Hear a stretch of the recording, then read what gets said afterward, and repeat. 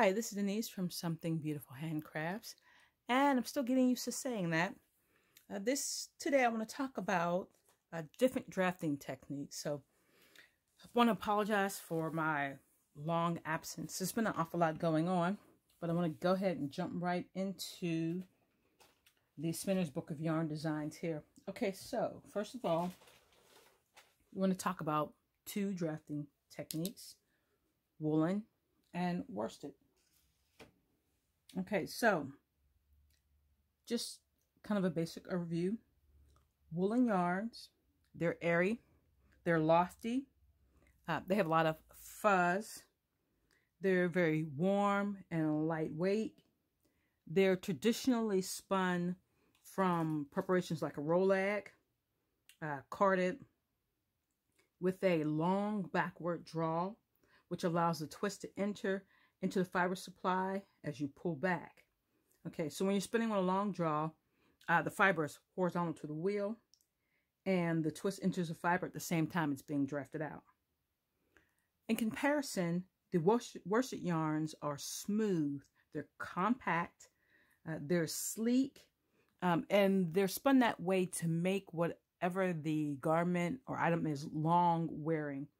And you can imagine with all the fibers being wrapped really tightly close together and tucked in, that that would not allow for abrasion across the surface of the garment. So that would make them long wearing.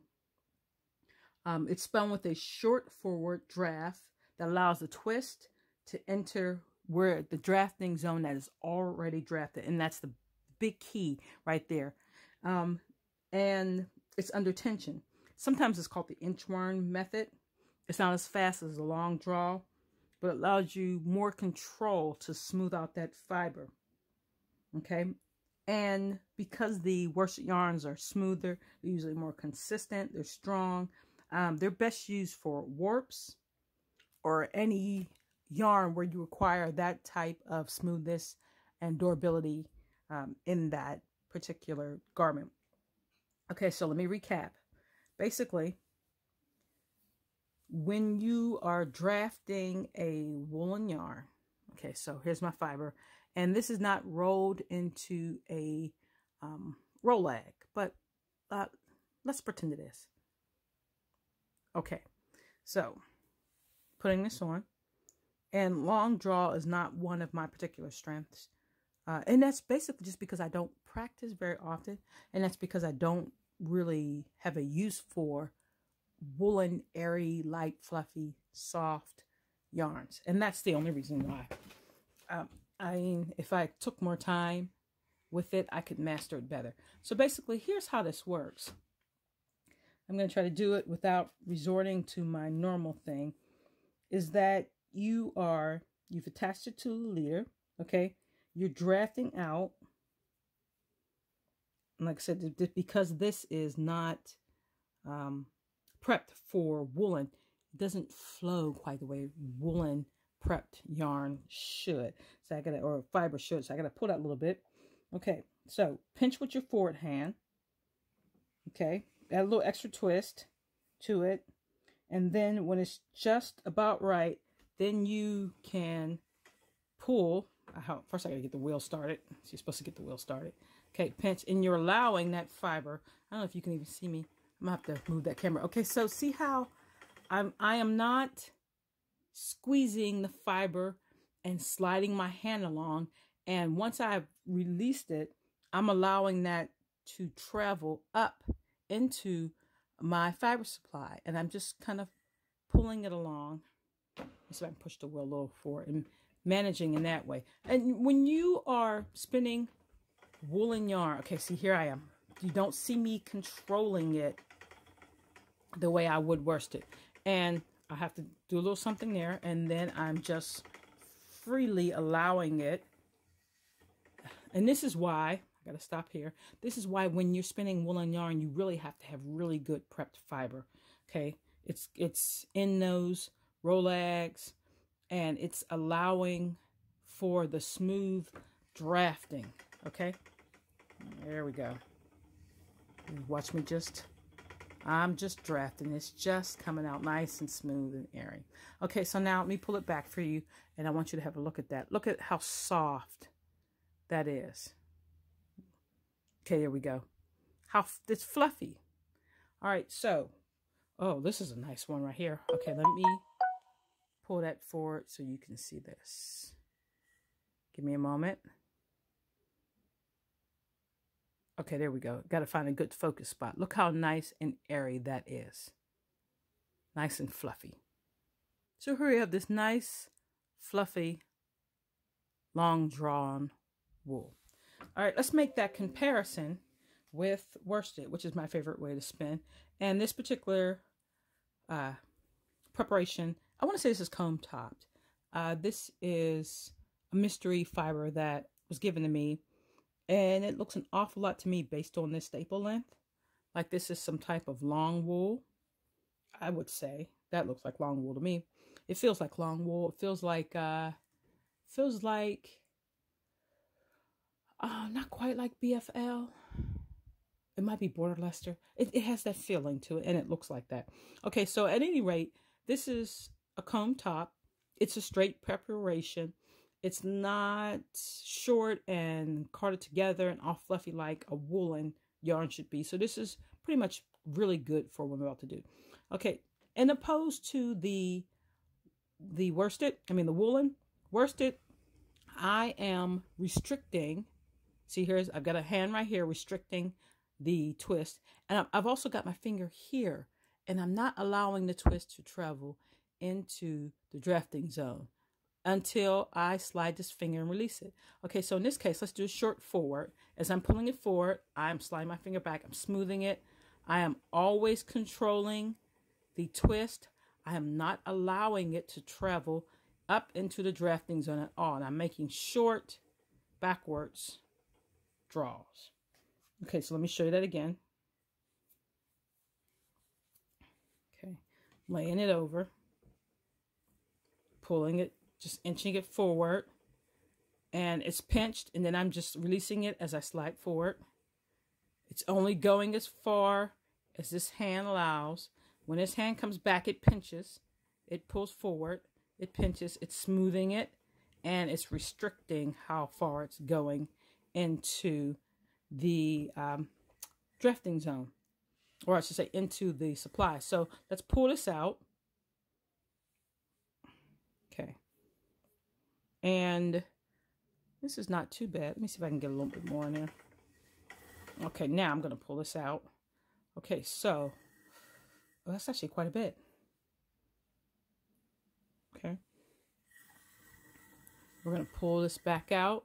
Oh, that broke off. Well, now you can really see the difference because it broke off. And so, okay, same fiber, Mm. Okay, I want to really get a good spot where you can really see it nicely. Oh, that's a good spot. Yes, there we go. Okay, so you have this. try to put that to the camera. Versus this. Ooh, almost had it. And it's not the thickness I want you to look at, but I guess I, it kind of is too because this is puffy.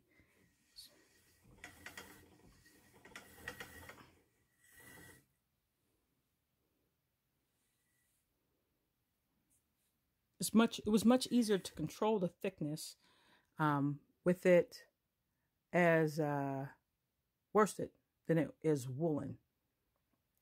And it's just smaller, it's smoother and it's thinner Okay, that's, there we go. The camera wants to self-adjust. I don't really care much for that. Okay, anyway, so that's a, that's a good comparison. So you can really see how compact this one is and how this one is not.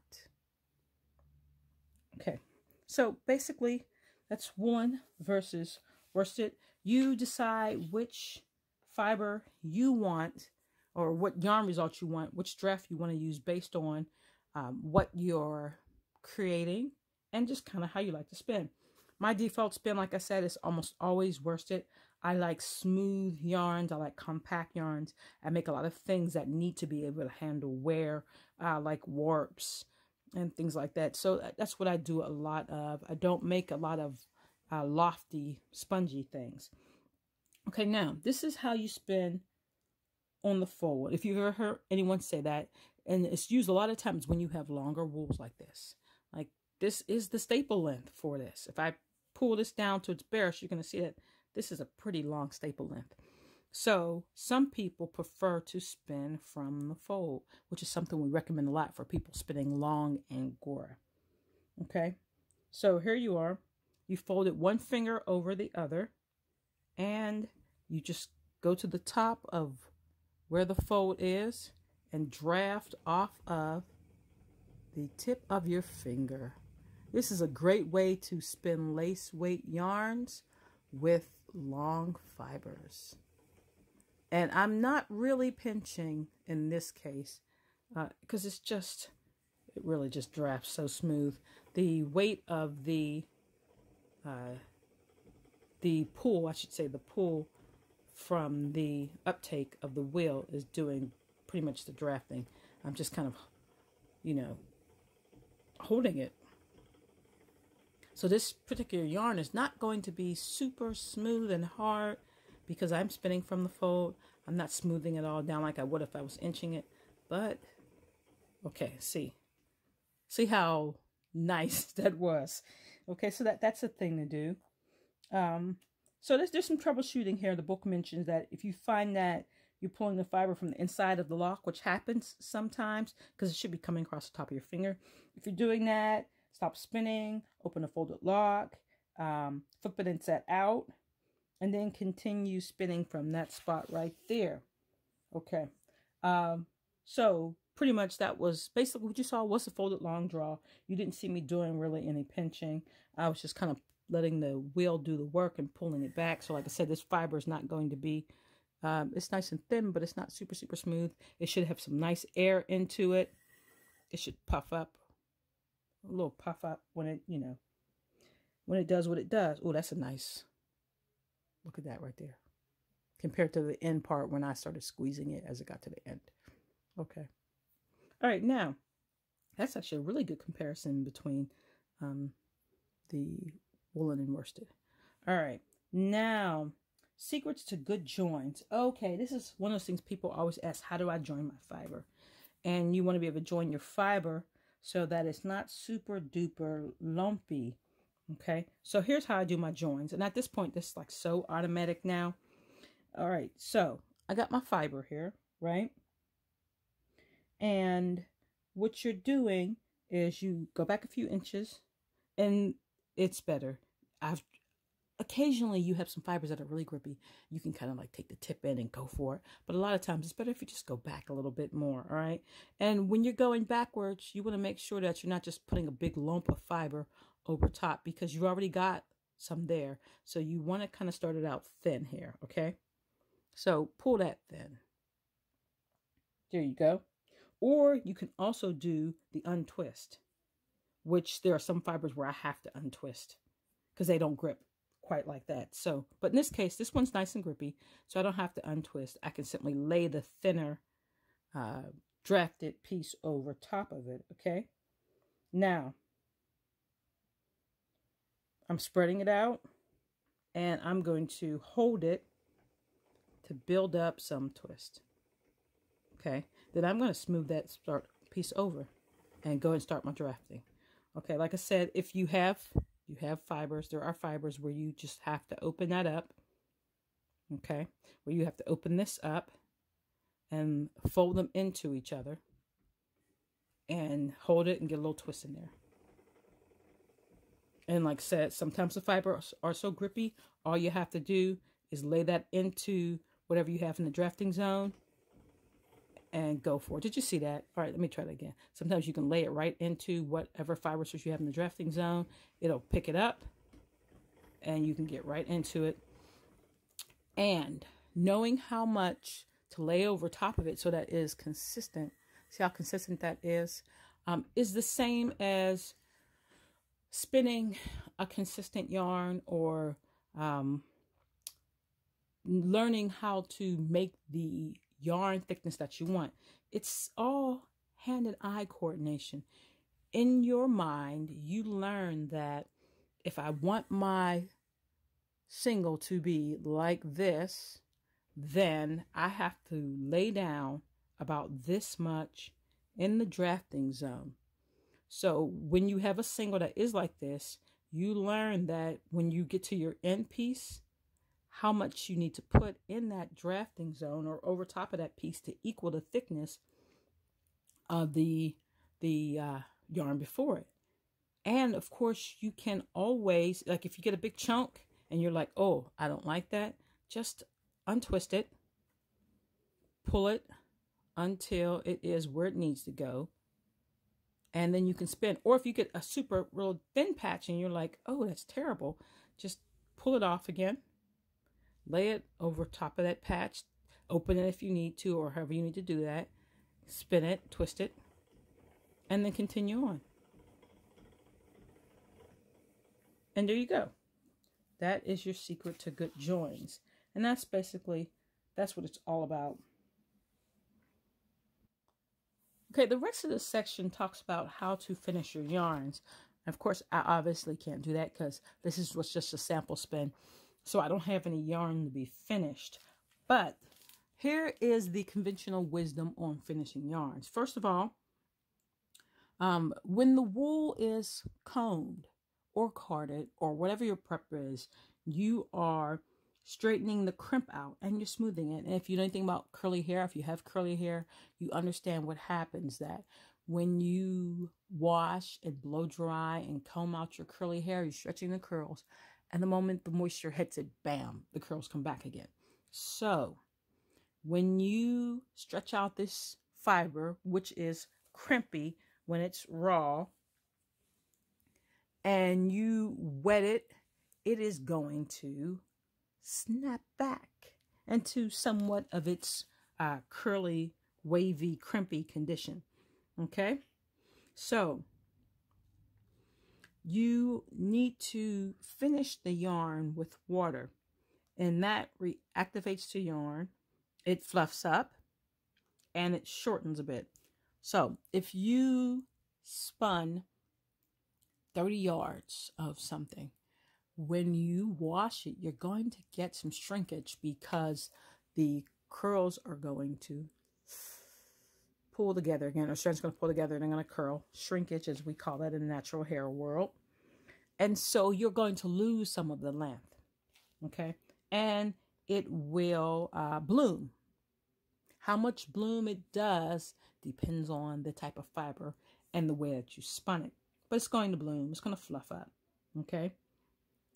So what you want to do when you're counting yardage and to really get the full effect of what the yarn is going to look like, you really want to wash it after you're done. And do yourself a favor if you haven't tried this yet.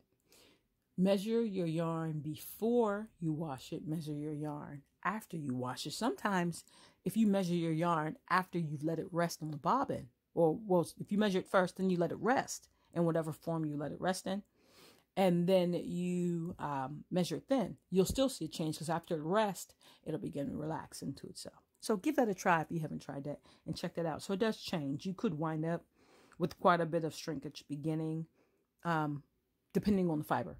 Now, I'm you may have heard me say that I don't always um, wash my yarns, and that is true. But there's like a big butt, like a huge, gigantic butt. There's like three different butts. Okay, here's the first butt. First of all, I am using fibers that I have already used over and over and over again. So I have a really good idea of the bloom that is going to happen when I wash these fibers. And I'm I'm spinning them like a formula. I'm spinning them at a, a consistent thickness and um, a consistent style. So I have a fairly good idea of which fibers bloom, how much they are going to bloom. Secondly, a lot of times I am knitting or working with something that does not require gauge. So, if I use this yarn without washing, but I've used this fiber and spun it this way multiple times, and I have a pattern that, that does not matter, gauge does not really matter, um, then I can knit this without really washing the yarn. And I know how much bloom to expect, which here was pretty much none. Okay. And I know in general how much shrinkage to expect. Um, I wash these gloves, hot wash them with um, hair shampoo. Okay. And considering the fiber that it is, I actually did expect a little more shrinkage. But it didn't shrink as much as I had previously expected, but it did shrink. And I kind of wanted more. Maybe I'll be a little more aggressive with it. But I wasn't like unduly surprised. It didn't felt up to, on me on some tiny little ball because I've done this before with this particular fiber in this particular way. So I, I, take, I say take advantage of breed studies. You do a lot of breed studies that kind of helps you move things along a bit. But if you are unsure of the fiber, if you've never worked before, if you've never spun it a certain way before, anytime you change, even if you've done it, let's say you've done merino, worsted, now you're going to do it woolen, or you've done it woolen, now you're going to do it worsted. You've changed something in that formula. You really need to test that guy out to see what's going to happen before you use it in a garment and be unpleasantly surprised. So, yeah, I had that happen with some Jacob because I actually I use a lot of Jacob all the time, and I make all kind of things with it. But I wove with it, which was different than the other projects that I used. And boy, that bad boy shrank, and I was like, ooh, you know. So weaving does something different to things. So now I know, which is why swatching is a wonderful thing to do. So um, when I say things about um, using my yarns without fulling or washing, you kind of have to know under what conditions I'm doing it because I, I don't always do it the same way all the time. Okay, so anyway, I'm past that wash the yarn. Be careful how you're washing it. You can't wash Cheviot the same way you can wash merino. Those fine wools, they do tend to shrink. That's another reason why I love breed studies because you kind of have an idea of, of how you should or should not treat the fiber when you're doing certain things. Um, oh, and then the book does go to say that things like long wools with less crimp don't change as much as merino, which is pretty much what I was just telling you. Um, and then, of course, even if you're using raw wool exactly, um, I you could scour things like to the end of their life. Uh, but let's say you don't do that. So when you wash them, you also may find that they soften if you didn't super scour it prior to. So uh, consider that. And of course, every time you wash it with certain wools, you're going to get more bloom that happens with Angora. Um, it happens with quite a few fibers. They get fuzzier and fuzzier as you wash, which is nice if that's what you're looking for. Okay. Uh, if you're spinning cotton or silk, uh, it is what it is. It's not really going to bloom. It's not going to change much. It's not going to shrink really because uh, there's very little crimp in that. Uh, but you still should, for the most part, wash at the end or you really have to wash that garment too. All right, now, uh, I got sidetracked because I looked at the book. But um, whether you should whack or don't whack is where I was going is um, something that can be controversial. Uh, it depends on why you're whacking. If you're whacking to bring out the bloom, then I say, hey, go ahead and whack. I don't whack because I don't want the garment to bloom till after I have finished knitting or weaving it. And that way uh, it doesn't interfere with the pattern. I find Angora is bloomed when I'm using it. It makes me itch. So I want it done afterwards. And I kind of want that new bloom feeling for things I'm selling. Um, so I just wait in in order to allow me handling it as I'm working with it to bring out the bloom so I don't whack. Um, I don't recommend whacking to move the twist along. Ah. And weighing yarn to me is like a big no-no because you, what you're doing is you're artificially manipulating the yarn. Um, if you have extra twist, the best way to get rid of your extra twist is to stop over twisting your yarn. I know that sounds a little harsh, but it's true. So when you weigh it and whack it to get rid of the extra twist, when you re when that yarn dries, it's straighter. When it gets wet again, that extra twist is going to come out. You'll be able to see it in places in your garment. So you'll have to block that garment every time that you wet it that may not be a problem to you. So if it's not a problem to you, hey, but I would not weigh, whack and weigh a skein that was over twisted, then make something and give it or sell it to somebody on the thought that the twist is gone and it's going to be okay. Uh, no, it will pop up again. So just keep that in consideration. All right, so after you're done washing and all that, you can make a skein with a niddy noddy and I'm going to skip that part as far as demonstration. Uh, there are some really neat videos about how to use a niddy noddy uh, if you're using that. And actually, I really like the niddy noddies. Even though I have a skein winder now, I still like my niddy noddy. Okay, that's it. Uh, that was the end of chapter one. It took four, four videos to make chapter one, and I probably could have done more videos, but there are some things I kind of glossed over in the book. But hey, you should have bought the book by now or buy the book. It's a really cool book and it really could take you a lifetime to spin through this entire book. So I encourage you to go get it. And I'm going to try really, really hard to uh, get back into a rhythm here and to try to make um, the video for chapter two in at least the next two weeks. So I could try to average out two videos a month for the Spinner's Book of Yarn Designs so that we could really get into the different types of yarns. And that that's coming soon. We'll be dealing with singles next time. All right, everybody. Thanks a lot. Have a great day. Happy spinning.